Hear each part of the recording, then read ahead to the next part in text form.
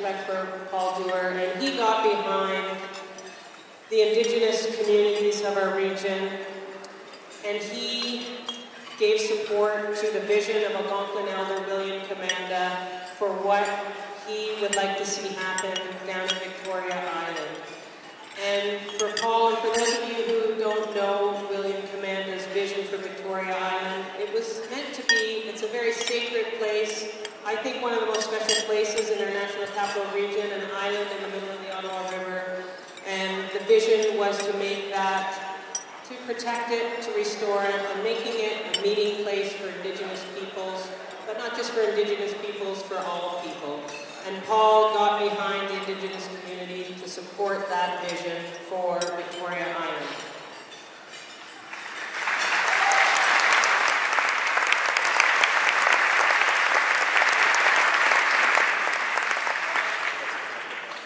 So I think um, mostly everybody wants to hear from Paul, but I just want to impart a couple of things uh, before I turn it over to Paul. And one of the things is, is that, you know, it's intuitive when you work to protect the environment, as people like to call it.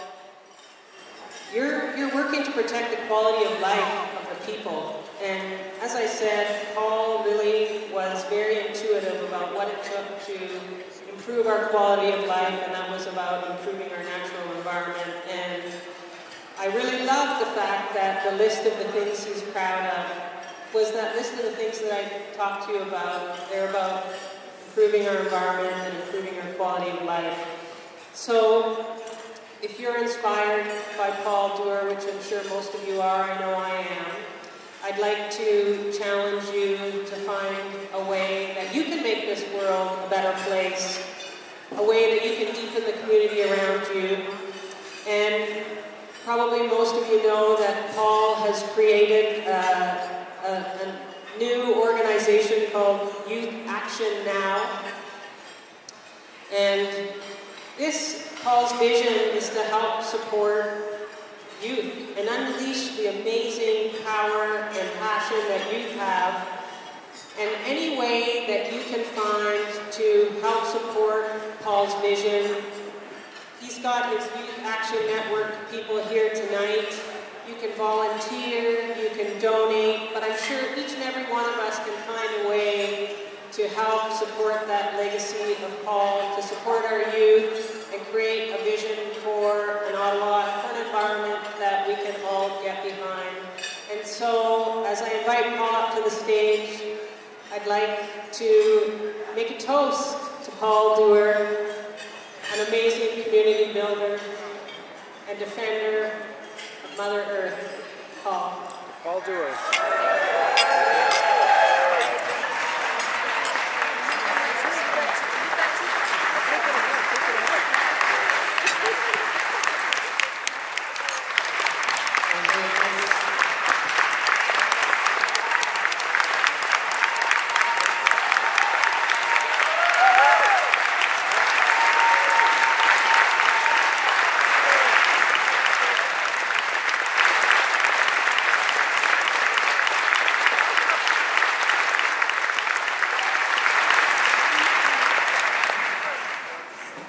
Thank you so much, uh, Meredith, uh, for the work you've done.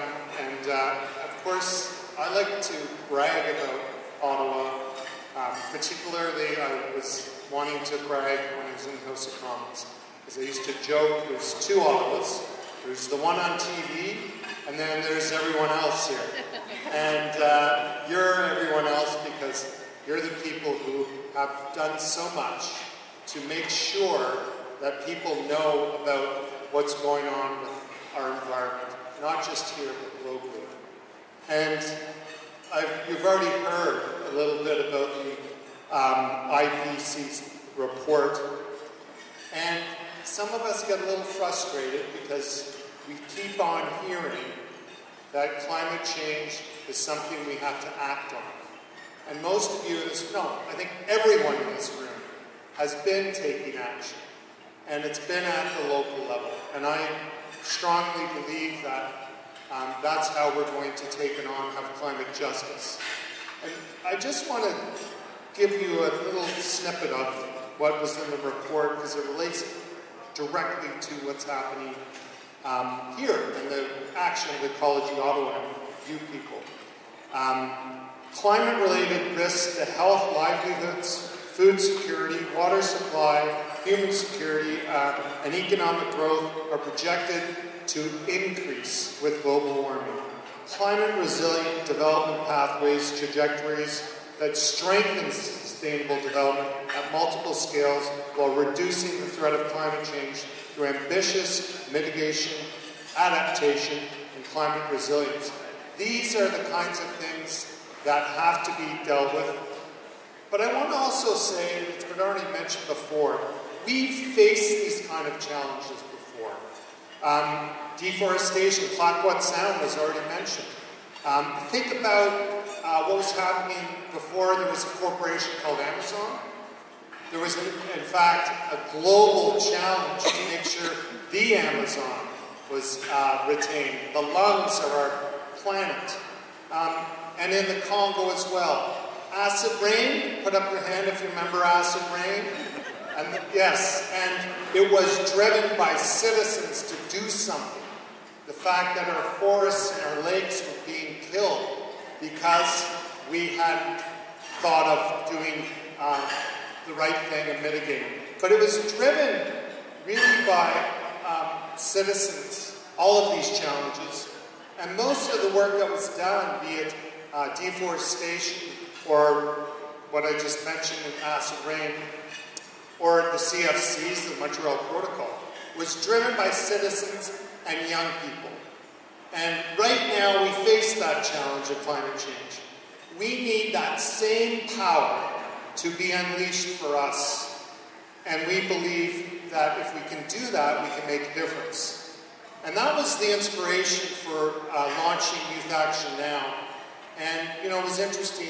The same day, February 14th, it was uh, Valentine's Day, that I had my brain surgery, was the same day as the shooting that happened in, in, in Parkland High School.